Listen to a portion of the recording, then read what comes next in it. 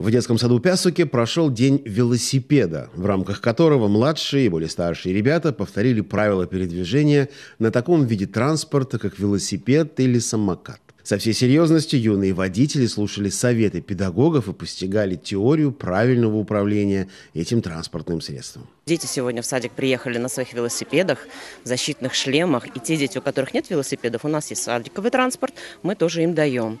И сегодня мы вспомним все правила вежливого велосипедиста, как надо себя вести, если мы выезжаем за территорию детского сада, где можно ехать. Все это дети сегодня вспомнят.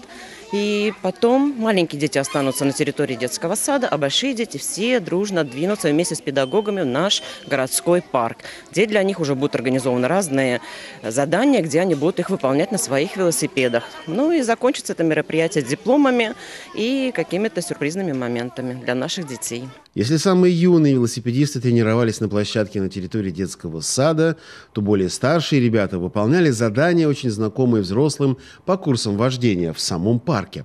Они с легкостью огибали так называемую «змейку», притормаживали и пропускали пешеходов, а также правильно сами переходили проезжую часть.